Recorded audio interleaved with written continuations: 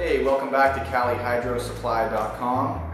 Today we're discussing the CO2 Boost Bucket, which is a good affordable CO2 generator for small environments. This bucket will last up to 90 days in a room, approximately 10 by 10, if you run it on 12 hours a day. If you run it 18 hours a day, it'll last 60 days. This is the, bu the bucket component this is the bucket containing the mushroom compost. We have an air pump and the feeder tube. You insert the feeder tube to the air pump and then into the bucket of compost.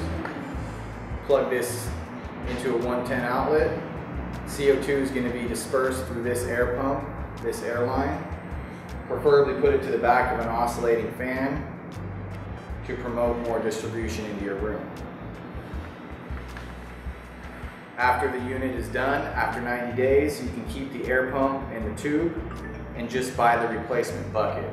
It's a great affordable way to inject CO2 into your room without any harmful flames or heavy bottles of CO2. Thanks again for visiting us at CaliHydroSupply.com.